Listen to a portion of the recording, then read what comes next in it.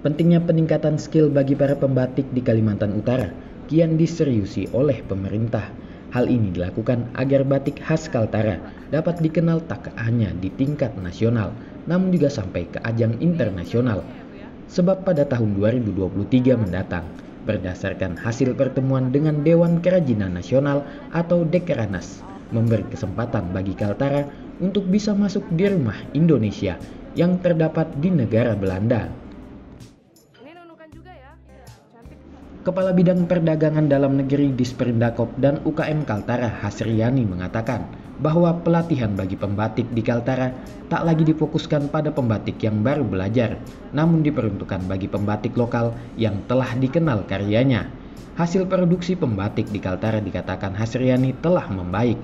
Untuk itu, dalam memberi pewarna alami ini, pihaknya akan melihat pangsa pasar lebih dulu.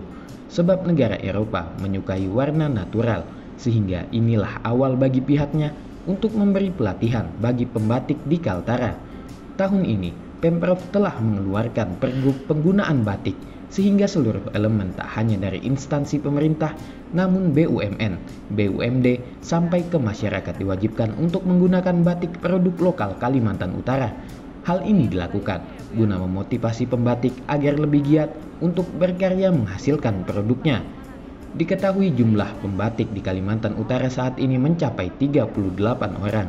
Jumlah ini masih terbilang sedikit, sehingga dengan adanya pergub ini, pihaknya berharap agar jumlah pembatik yang sudah ada dapat memberi peluang kepada masyarakat untuk menekuni batik, namun tetap mengangkat motif khas Kalimantan Utara. Menyoal target rumah Indonesia di Belanda, dikatakan Hasriani, Pemprov bersikap optimis, yakni dengan melakukan pelatihan kepada pembatik yang telah memiliki skill batik. Pelatihan ini juga merupakan upaya perbaikan peningkatan kualitas dari hasil produk yang telah dihasilkan.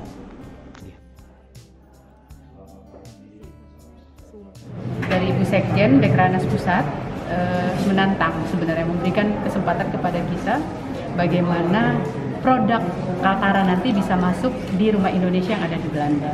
Hmm. Jadi hasil bincang-bincang kemarin gitu karena kita sudah lihat uh, hasil produksi dari teman-teman pembatik ini juga alhamdulillah sudah sudah bagus ya.